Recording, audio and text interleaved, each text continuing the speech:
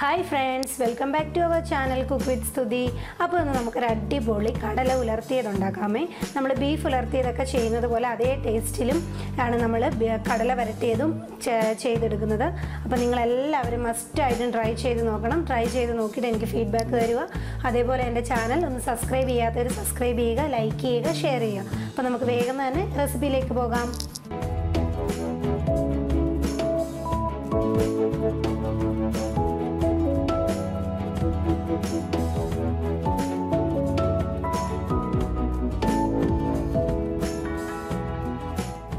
നമുക്ക് കടല വരട്ടിയത് അല്ലെങ്കിൽ കടല ഉലർത്തിയത് എന്നൊക്കെ പറയും. നോൺ വെജുകാർക്കും വെജുകാർക്കും ഒക്കെ ഒരേപോലെ ഇഷ്ടമുള്ള ഒരു വിഭവമാണ്. അപ്പോൾ ആദ്യമേ തന്നെ ഞാൻ ഇതിലേക്ക് ഒരു ഇരുന്നൂറ്റി നാൽപ്പത് എം എല്ലിന്റെ കപ്പിൽ ഒന്നര കപ്പ് രാത്രിയിൽ കടല കുതിർത്ത് വെച്ചിട്ടുണ്ടായിരുന്നേ. അതിപ്പോൾ രാവിലെ നന്നായിട്ട് കുതിർന്ന് വന്നിട്ടുണ്ട്. ഇത് നന്നായിട്ട് വാഷ് ചെയ്തതിന് ശേഷം ഞാൻ ഈ ഇതേപോലെ ഒരു കുക്കറിലോട്ട് ഇട്ട് കൊടുക്കും. ഇതിലേക്ക് ഞാനൊരു കാൽ ടീസ്പൂണോളം ഉള്ള മഞ്ഞപ്പൊടി ഇട്ട് കൊടുക്കണേ മഞ്ഞപ്പൊടി ഇപ്പം കുറച്ചിട്ടാൽ മതി. നമ്മളിനി മസാലയൊക്കെ ചേർക്കുന്ന ടൈമിൽ കുറച്ചിടുന്നുണ്ട്. അപ്പോൾ ഇപ്പം ഞാൻ കുറച്ചിട്ട് വേവിക്കുക. കുറച്ച് ഉപ്പും കൂടി ഇട്ട് കൊടുക്കുകയാണ് ഇനി നമുക്കിത് കടല കടലനൊക്കെ എന്ത് ചെയ്യണം? വെള്ളം ഒഴിച്ചു കൊടുത്ത് വേണം നമുക്കിതൊന്ന് നന്നായിട്ട് വേവിച്ചെടുക്കാൻ. അപ്പോൾ ഇത് മതി. ഇത്രയും വെള്ളം മതിയേ ഒരു കപ്പോളം ഉള്ള വെള്ളം ഒഴിച്ചു കൊടുത്തിട്ടുണ്ട്. അതിനുശേഷം ഇത് നന്നായിട്ട് നമ്മൾ കടല വേവിച്ചെടുക്കണം. അപ്പോൾ നിങ്ങൾ എങ്ങനെയാണോ നിങ്ങൾ കടല വേവിച്ചെടുക്കുന്നത് ആ രീതിയിൽ നമുക്ക് വേവിച്ചെടുത്തിട്ട് നമുക്ക് ഇതിന്റെ മസാല തയ്യാറാക്കാം. അപ്പോൾ നമ്മുടെ കടല ഇവിടെ നന്നായിട്ട് വെന്ത് വന്നിട്ടുണ്ട്. ഞാൻ ഊറ്റി മാറ്റി വെച്ചതിന് ശേഷം ഇനി നമുക്ക് ഇതിലേക്കുള്ള മസാല തയ്യാറാക്കാം. അതിനുവേണ്ടി അടുപ്പ് കത്തിച്ചിട്ട് ഒരു പാൻ എടുത്ത് വെച്ച് കൊടുത്തിട്ടുണ്ട്. ഇതിലേക്ക് ഞാൻ ഒരു ടേബിൾ സ്പൂണോളമുള്ള വെളിച്ചെണ്ണയാണ് ഉപയോഗിക്കുന്നത്. അപ്പം നമ്മുടെ എണ്ണ നന്നായിട്ട് ചൂടായി വന്നിട്ടുണ്ട്. ഇതിലേക്ക് ഞാനൊരു ഒരു ടീസ്പൂണോളമുള്ള കടുക് ഇട്ട് കൊടുക്കുവാണേ. കടുക് ഒന്ന് നന്നായിട്ട് പൊട്ടട്ടെ. നമ്മുടെ കടുക് ഇവിടെ നന്നായിട്ട് പൊട്ടിയിട്ടുണ്ട്. ഇതിലേക്ക് ഞാനൊരു ചെറിയ കഷ്ണം ഇഞ്ചിയും ഒരു നാലഞ്ച് വെളുത്തുള്ളിയും കൂടെ ഒന്ന് കൊത്തി അരിഞ്ഞതാണ്. അതും കൂടെ ചേർത്ത് കൊടുത്ത് ഒന്ന് മൂപ്പിക്കാം. അതേപോലെ തന്നെ ഞാൻ ഈ ടൈമിൽ കുറച്ച് തേങ്ങാക്കൊത്ത് അരിഞ്ഞതും കൂടെ ചേർത്ത് കൊടുക്കും. ഈ തേങ്ങാക്കൊത്തൊക്കെ ഇങ്ങനെ ഇടുമ്പോൾ നല്ലൊരു ടേസ്റ്റാണ് നമ്മുടെ കടല ഉലർത്തിയതിന് അപ്പം കയ്യിലുണ്ടെന്നുണ്ടെങ്കിൽ നിങ്ങൾക്ക് ഇതേപോലെ ചേർത്ത് കൊടുക്കാം. ഈ ടൈമിൽ ഞാൻ കുറച്ച് കറിവേപ്പിലയും കൂടെ ചേർത്ത് കൊടുക്കുക.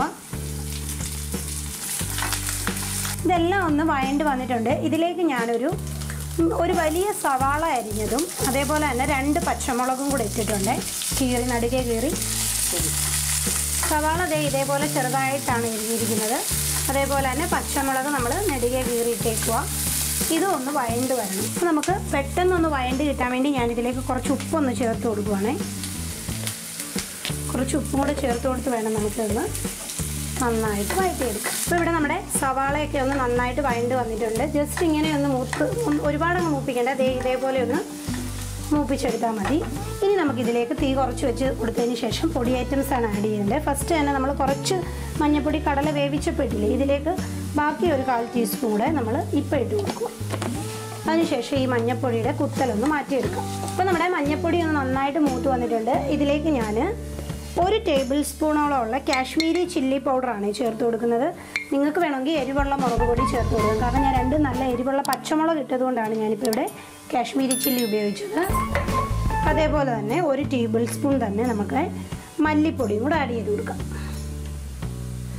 എന്നിട്ട് ഇത് നന്നായിട്ടൊന്ന് നല്ലതുപോലെ ഇതിന്റെ പച്ചമണം ഒന്ന് മാറ്റിയെടുക്കും അപ്പോൾ ഇവിടെ നമ്മുടെ മല്ലിപ്പൊടി മുളക് പൊടി നന്നായിട്ട് മൂത്തിട്ടുണ്ട്. ഇതിലേക്ക് ഞാനൊരു അര ടീസ്പൂണോളമുള്ള ഗരം മസാലയും കൂടി ഇടുവാണേ. അപ്പോൾ വീണ്ടും ഇത് നന്നായിട്ട് ഇതുമായിട്ടൊന്ന് മിക്സ് ചെയ്തെടുത്താൽ മാത്രം മതി. മൂക്കിയൊന്നും വേണ്ട.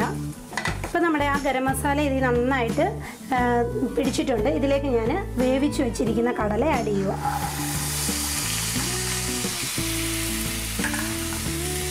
ഈ കടല വേവിച്ച വെള്ളം തന്നെ ഞാനൊരു കാൽ കാൽ ഗ്ലാസ് കാലേ ഒഴിച്ചു കൊടുത്തിട്ടുണ്ട്. ഒരുപാട് ഒഴിച്ചു കൊടുക്കരുത്. കാൽ ഒരു കാൽ ഗ്ലാസ് അത് മതി. അതിനുശേഷം ഇതെല്ലാം കൂടെ നന്നായിട്ടൊന്ന് മിക്സ് ചെയ്തെടുക്കണം. ഈ കടലയിലോട്ട് ആ പൊടിയൊക്കെ ഒന്ന് പിടിക്കാനും അതിനുവേണ്ടിയാണ് നമ്മൾ ഒരു കാൽ ഗ്ലാസ്സോളം മാത്രം വെള്ളം ഒഴിച്ചു കൊടുത്തത്. അതുപോലെ ഈ വെള്ളമൊക്കെ നന്നായിട്ട് പറ്റിച്ച് നമ്മൾ നല്ല ഡ്രൈ ആക്കി എടുക്കണം. അപ്പോൾ ഇവിടെ നമ്മുടെ ഞാൻ നന്നായിട്ടൊന്ന് മിക്സ് ചെയ്തെടുത്തിട്ടുണ്ട്. ഇതിലേക്ക് ഞാനിപ്പം കുറച്ച് ഉപ്പും കൂടെ ചേർത്ത് കൊടുക്കുക നമ്മൾ കുറച്ച് ഉപ്പേ കടലേ ചേർത്തിട്ടുള്ളായിരുന്നു. ബാക്കി നമുക്ക് ഈ ടൈമിലാണ് ചേർത്ത് കൊടുക്കേണ്ടതെന്ന് ഞാൻ പറഞ്ഞിട്ടുണ്ടായിരുന്നു. അപ്പം നമുക്ക് കുറച്ച് ഉപ്പും കൂടെ ആഡ് ചെയ്ത് കൊടുത്തിട്ട് വീണ്ടും ഇത് നന്നായിട്ടൊന്ന് മിക്സ് ചെയ്തെടുക്കണേ.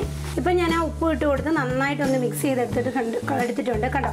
ഇപ്പോൾ കാണുമ്പോൾ അറിയാലോ നമ്മൾ ആ ഒഴിച്ചു കൊടുത്ത വെള്ളമൊക്കെ ഒന്ന് പറ്റി നല്ല കടല നല്ല ഡ്രൈ ആയിട്ടുണ്ട്.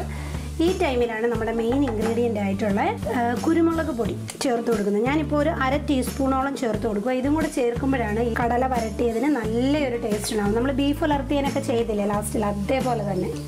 അതേ ഒരു ഇതാണ് നമ്മൾ ഇതും ചെയ്തെടുക്കുന്നത്. അപ്പോൾ അതും കൂടെ ചേർത്ത് കൊടുത്ത് വീണ്ടും നന്നായിട്ടൊന്ന് മിക്സ് ചെയ്തെടുക്കണം. അതിനുശേഷം നമുക്ക് നമ്മുടെ തീ ഓഫ് ചെയ്യാം. ഇപ്പം നമ്മുടെ അടിപൊളി കരട കടല വരട്ടിയതെന്നോ കടല ഉലർത്തിയതെന്നോ എന്ത് വേണമെങ്കിലും നമുക്കിതിനെ പറയാം. ചോറിന്റെ കൂടെ ഒരു ബെസ്റ്റ് കോമ്പിനേഷനാണിത് അപ്പം നന്നായിട്ട് മിക്സ് ചെയ്തെടുത്തതിന് ശേഷം നമുക്കിനി ഇത് സെർവ് ചെയ്യാം.